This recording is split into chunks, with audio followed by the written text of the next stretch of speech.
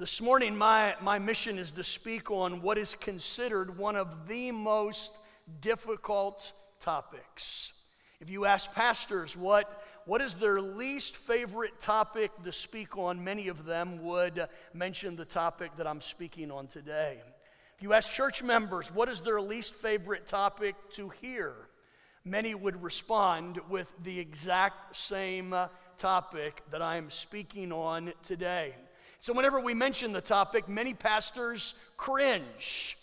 And quite frankly, many church members flinch whenever the topic is mentioned. And so I decided, let's just get it out there right away. I'm going to mention the topic and I'm going to cringe, and I will give you the opportunity to flinch when I say it this morning, okay? All right, this morning, very simply, we are speaking on giving and we're talking about what does the Bible say uh, about giving. There you go, we got it over with. That wasn't that bad, was it? I didn't see too many people flinch that much. Now, I know all of the criticisms. From the pastor's point of view, pastors would sit back and say, Pastor Brian, church members don't give enough. I've heard all of the criticisms. I've heard the criticisms from church members as well that say, preachers mention it too often. If preachers wouldn't mention it that often, then maybe we would give more. Quite frankly, we strive not to mention it that often. It's been a year and a half since we have spoken on the topic. It's a difficult topic, I admit. Uh, some of you may remember the comedian Flip Wilson. Does anybody remember Flip Wilson? The comedian. We're dating ourselves just a little bit, but remember the comedian Flip Wilson? One of the characters that Flip Wilson used to play in his skits was a pastor that pastored the What's Happening Now church. You may remember that. And uh, in one of those skits, the pastor was standing up preaching. The pastor was standing up yelling, and the pastor said this He said, If this church is going to serve God, it's got to get down on its knees and crawl. The audience then was then prompted as the congregation, and the audience responded back, Make it crawl, preacher, make it crawl. He then would say, Once this church has learned to crawl, it's got to get up on its feet and walk. Once again, the audience participated, and the audience yelled back, Make it walk, preacher, make it walk. And then he would say, once the church has learned to walk, it's got to begin to run. And you know how the congregation responded. They yelled out, Make it run, preacher, make it run.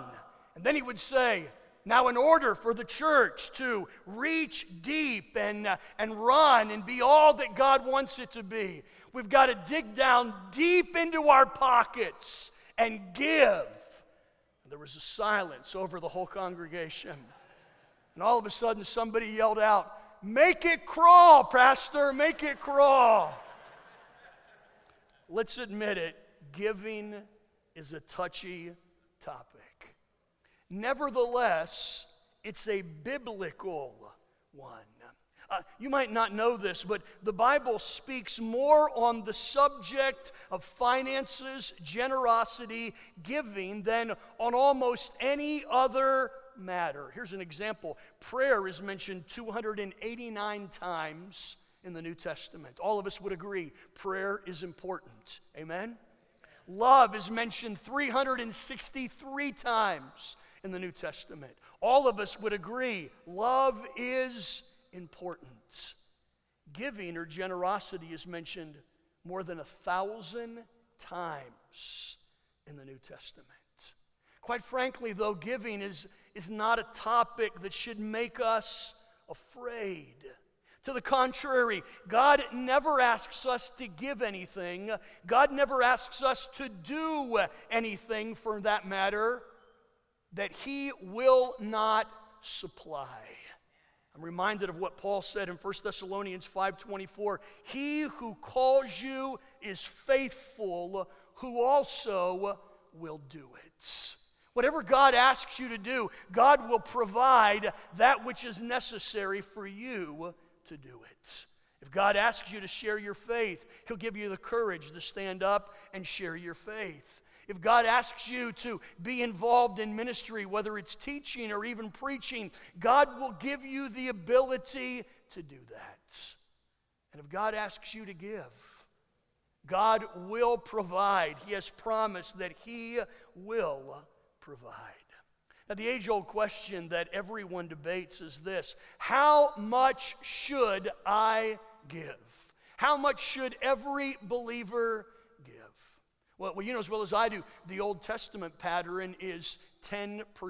It was a matter of fact, it was a part of the law. The children of Israel were required to give the first 10%, not the last 10%, but the first 10% of, of everything they made. They were required to give that to the Lord. Many say, Brian, hey, the New Testament pattern, though, is different. The New Testament pattern is based upon love, it's based upon a relationship, it's based upon dependence on God.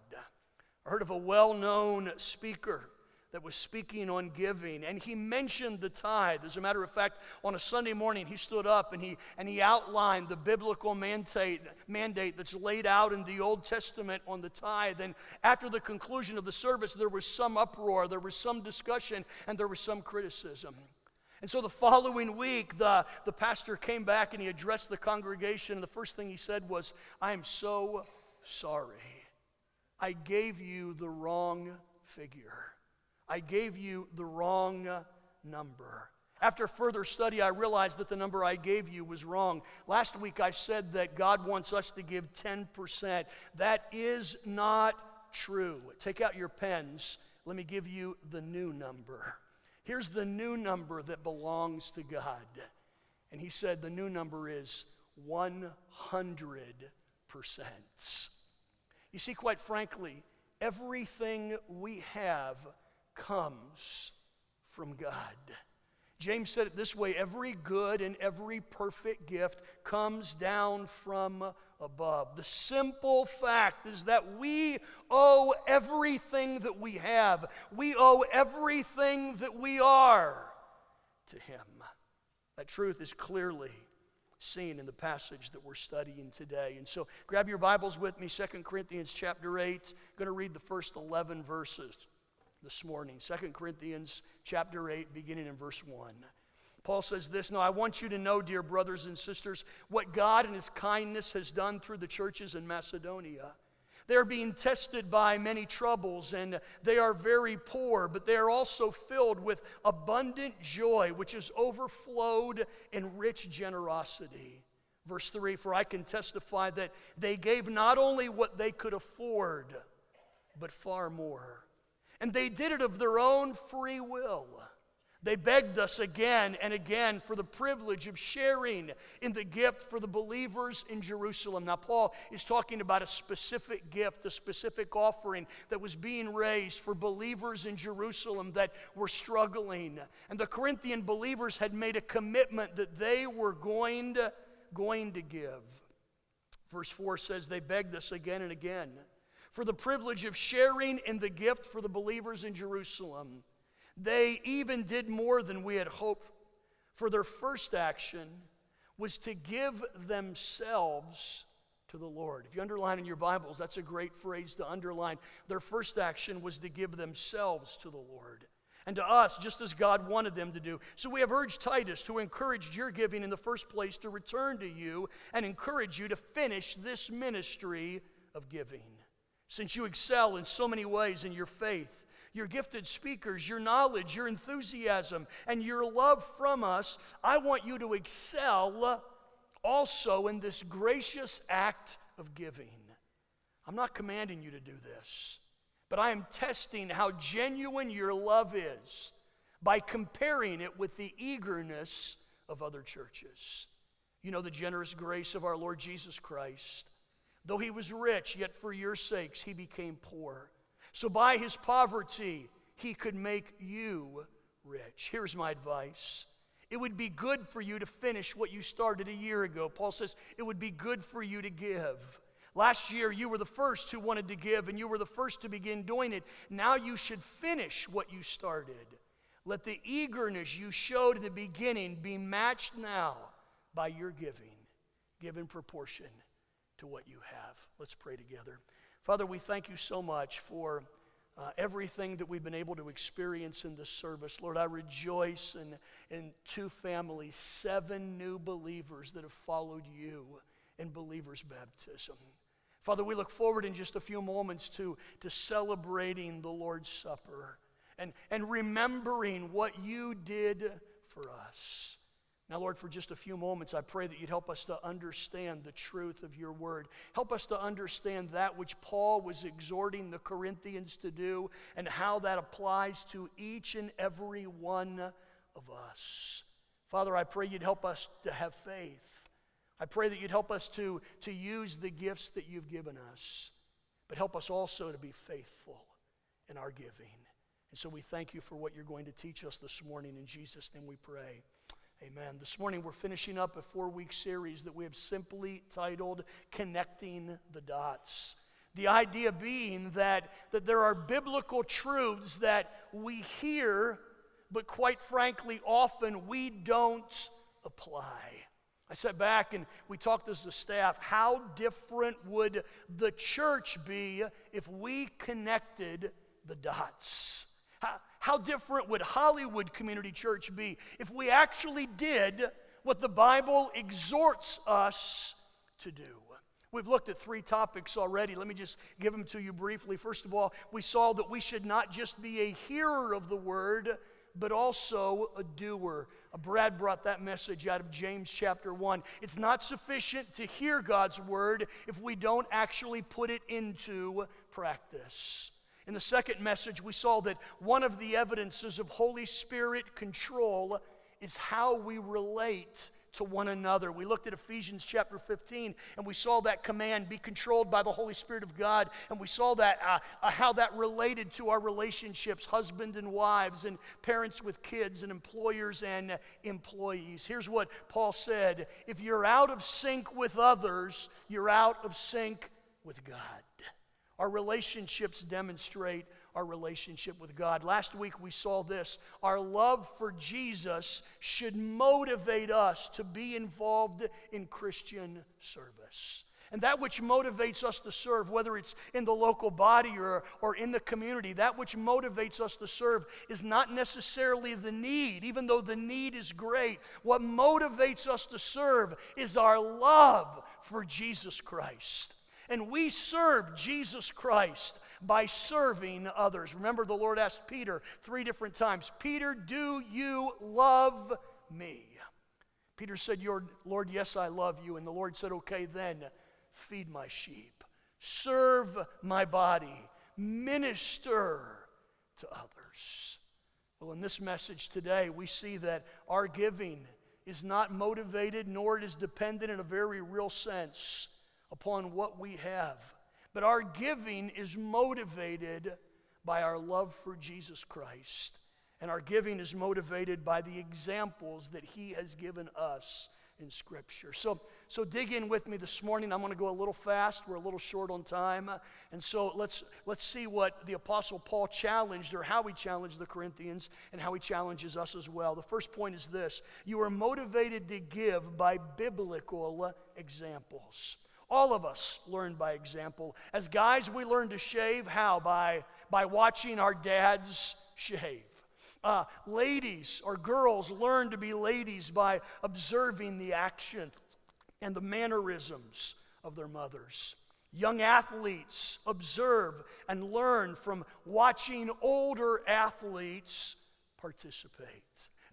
Here's what Paul is saying. He challenges the Corinthians and us to give, and he says, Let me challenge you by giving you two wonderful examples.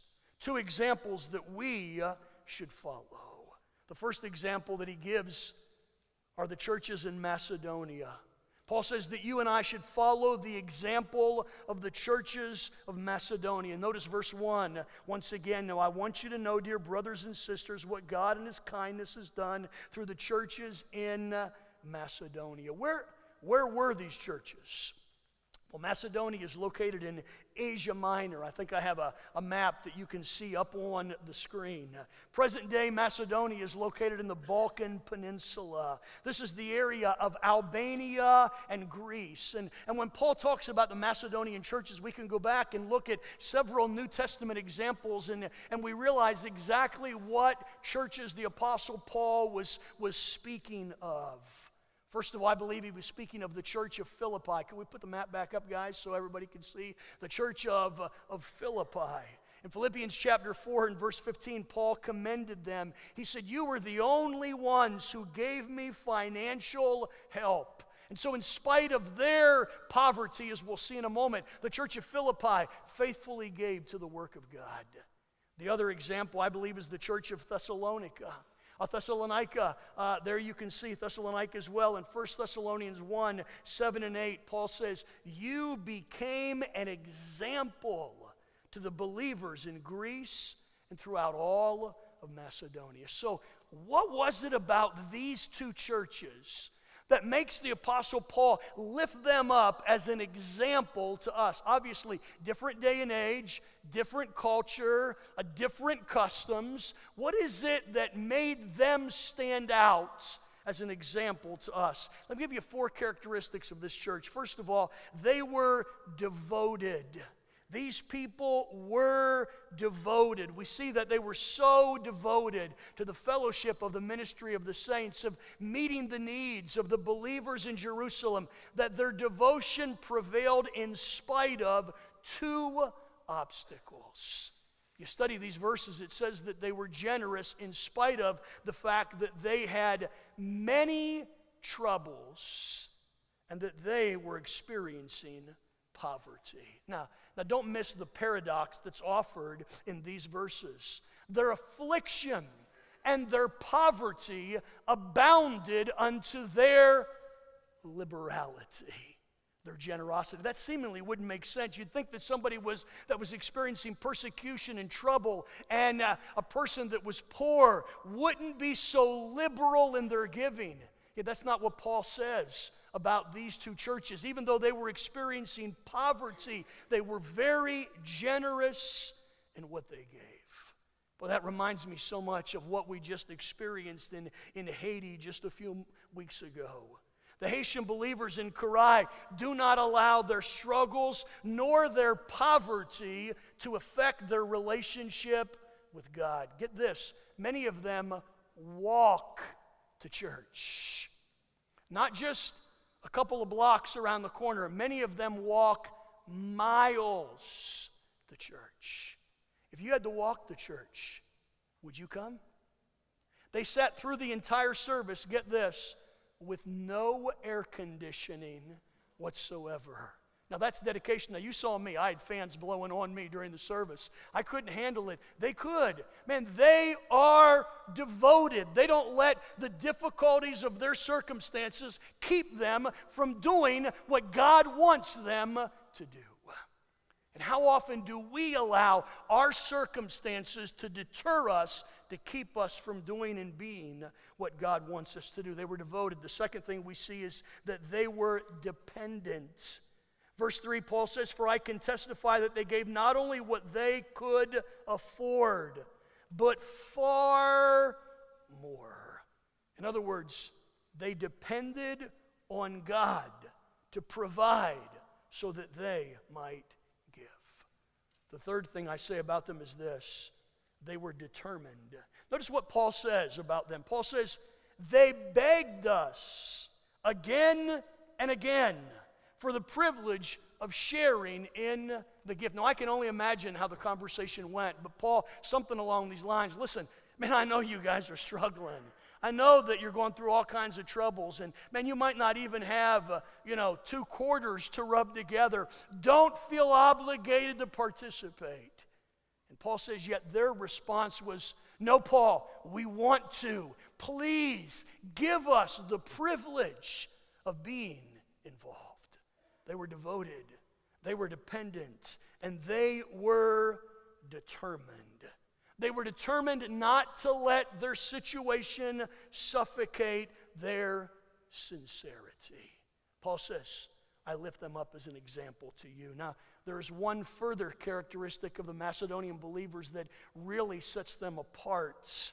But I'd like to return at the end of the message. So leave that space blank and we'll fill that out in just a few moments. The first example that Paul gives, though, are the Macedonian churches. The second example that he gives is so much greater. He gives the example of Jesus Christ. Notice verse 8 once again, or verse 9. For you know the generous grace of our Lord Jesus Christ. Though he was rich, yet for your sakes he became poor, that we through his poverty might become rich. Man, the greatest giver of all time is none other than Jesus Christ himself. Man, you talk about under exaggeration. Though he was rich, think with me, for all of eternity, there was Jesus in heaven, surrounded by unbelievable wealth, surrounded by unbelievable praise. And Jesus chose to give that up and come to earth. Though he was rich, yet for your sakes he became poor. The word poor that's used in that verse is a very interesting verse. There's several verses in the New Testament that are translated uh, poor or poverty. One is, a, one is a temporary poverty. Parents, we know what that's like. Kids come and say, Hey, Dad, can I have 10 bucks? And, you know, we're able to pull out our pockets and say, I'm sorry, I don't have anything to give you. Now, doesn't mean there's no money in the bank. We just don't have any money on us at that moment. I remember years ago, uh, Justin or Mark, I don't remember which one it was, came and they wanted money for something, and I used the age old, hey, I'm sorry, I don't have any cash on me. And at a little age, they'd look at me and say, Come on, Dad, don't you have a credit card? Kids learn early, all right? Temporary poverty. That's not the word that's used describing Jesus.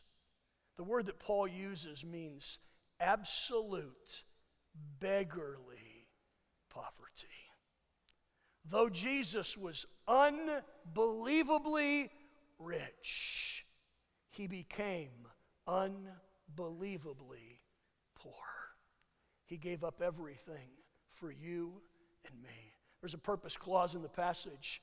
It says, so that the idea being, Jesus did all of that for a purpose, so that we, through his poverty, might become rich. Please do not interpret this verse uh, as, as if Paul was teaching prosperity theology. He's not. He's talking about the wealth that comes as being a believer in Jesus Christ, in all that we inherit. So, so here's what Paul says you and I are motivated to give by biblical examples. There's a second thing that we see in the passage. You and I are enabled to give by grace. We're enabled to give by grace. In this passage, Paul uses nine different words to describe giving. Verse 2, he uses the word generosity. In verse 4, he uses the word gift. In verse 6, he talks about the ministry of giving. He uses nine different words. But the most frequent word that Paul uses in this passage describing giving is not a word that I would have imagined. He uses the word grace. And he talks about giving as being a demonstration of grace. Notice in verse 7, he speaks of the gracious act of giving. In verse 9, he talks about generous grace. So, so here's what Paul is saying. Paul is saying that the ability to give generously, to, to give to God what God expects and what God desires for us to give Him, is a grace. It, it's something that God gives to us. Let me tell you a couple of things about grace. Grace is this grace is God given and unearned. The nature of grace is that God gives us what we do not and cannot ever deserve or earn ourselves. We're saved by grace. We're empowered by grace. We're strengthened by grace. Everything that God does in our lives is by and through grace. Can I get an amen this morning? Grace simply means God giving us what we do not deserve. So here Paul says that this ability to give generously is a grace. It's something that God gives to us. You'll notice in the passage as well that the grace of giving is placed on the same level as faith, gifted speaking, and knowledge. He says that uh, in verse 7 since you excel in many ways in your faith, your gifted speakers, your knowledge, your enthusiasm, and your love for us, I want you to excel in this gracious act of giving as well. Man, we would readily admit that faith and knowledge are God given abilities. That's a powerful grace. But giving is as well. So here's the third thing if you're following along God gives us then the grace or the ability to give. God gives us the grace or the ability to give. Such a grace is not dependent upon how much I have, how much I make. It's dependent upon God's ability to provide. That's why Jesus says in Luke chapter 6 and verse 38 Give and you will receive.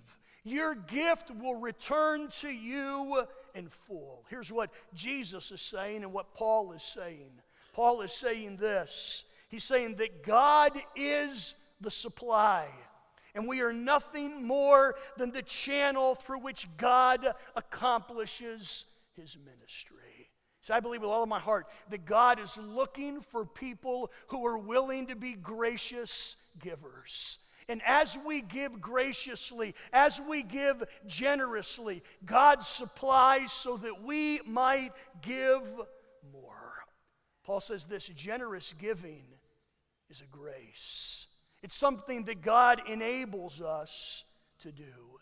Notice the third thing in your outlines. The third thing is this you are exhorted to give in two ways. In verse 8, I find it interesting. Paul tells the Corinthians, he says, I'm not commanding you to do this, but I am testing how genuine your love is by comparing it with the eagerness of other churches. Two thoughts that I wrote down about this. The first is this you and I should give willingly.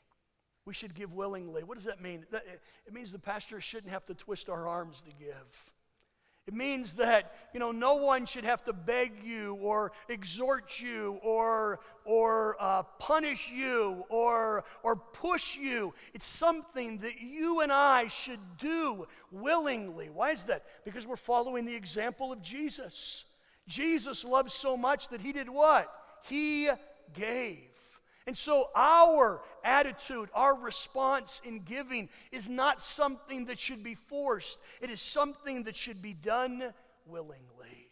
Notice in chapter 9 and verse 7 what the Apostle Paul says. Just in the, in the next chapter, Paul says this You must each decide in your heart how much to give, and don't give reluctantly or in response to pressure, for God loves a person that gives cheerfully.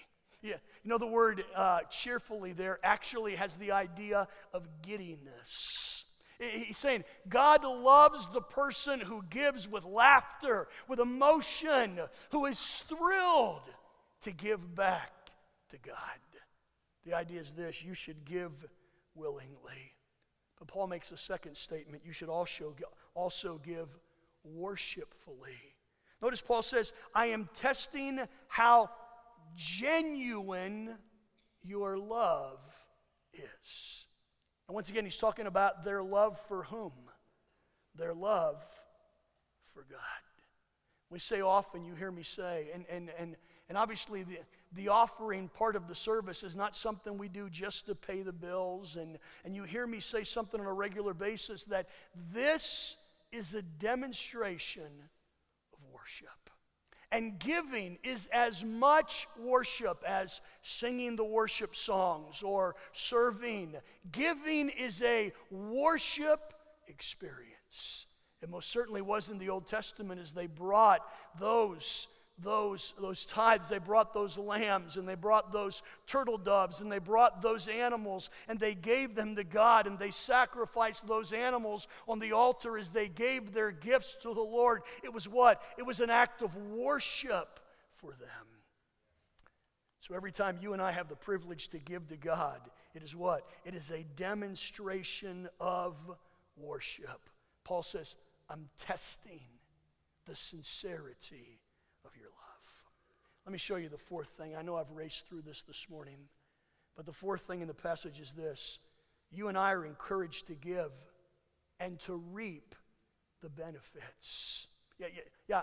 I said that correctly. We're encouraged to give and to reap the benefits. Notice verse 10. Here's what Paul says. And here is my advice it would be good for you to finish what you started a year ago. We'll go back. The, the, the word advice there literally means, or when he says it's good for you, he literally means this is advantageous for you. Now, that's an easy one for us to understand. A couple of things. First of all, giving is advantageous to God's kingdom. We understand that. And yet it's so very important. God has chosen to use us for the advancement of his kingdom. You know, God could have chosen a lot of different ways to, to fulfill his work. He could have, you know, every month send an email to Hollywood Community Church and say, okay, if you guys will go to this and this address and you'll dig real deep, you'll hit oil. or if you go to this place right here, you're going to find gold. God could have chosen to finance his work that way, but that's not the way he's chosen. God has chosen to finance his work through the giving of God's people. and every time that you and I give, we're involved in advancing the work of God. Your giving facilitates and finances the preaching of the gospel both here and abroad. When I wrote that this week, I had no idea that Rudy and Lorraine were going to be here this morning. Uh, they're on the mission field because we give sacrificially to them. And their support comes out of your giving. We send money to missionaries all around the world. Your giving is advantageous to the kingdom of God. But Paul says something else. Paul says giving is advantageous to you.